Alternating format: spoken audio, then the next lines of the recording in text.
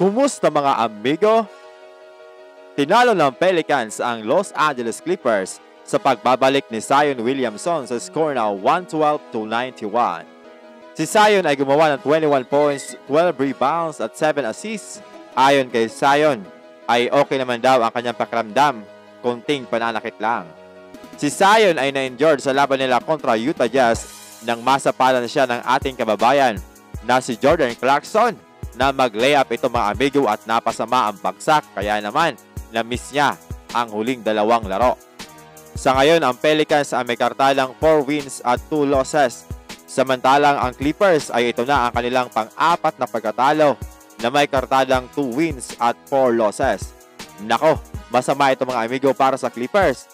At ang kanilang superstar na si Kawhi Leonard ay na-sideline pa rin due to injury. During halftime ay tabla pa ang score ng Clippers at Pelicans. Ngunit sa third quarter ay nagkaroon ng 16 to 2 run ang Pelicans kaya naman nadala dito mga amigo ang Los Angeles Clippers. Panalo naman ang Cleveland Cavaliers versus New York Knicks mga amigo kung saan sa pagpasok nga ng fourth quarter ay nakakalamang pa dito ang New York Knicks.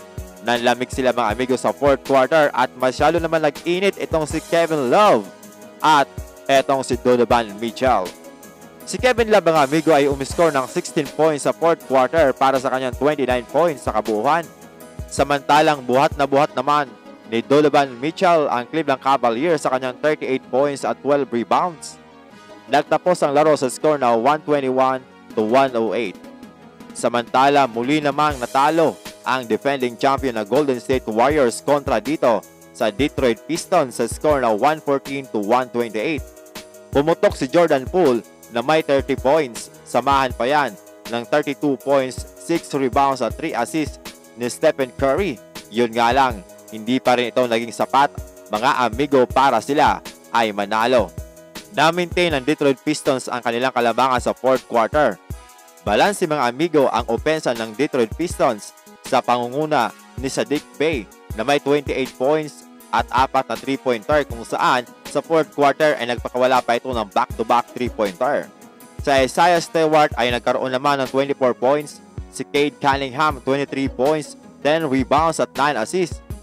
Boyan Bogdanovic 21 points kung saan kakapirma pa lamang nito mga amigo ng 2-year contract extension dito sa Detroit Pistons worth 39.1 million dollar. Hindi nakapaglaro mga amigo itong si Klay Thompson this game. Napansin ko mahina ang depensa mga amigo ng Golden State Warriors at nag-commit sila ng napakaraming foul. Binigyan nila ng 38 free throw ang Detroit Pistons na nagresulta sa 30 points nito.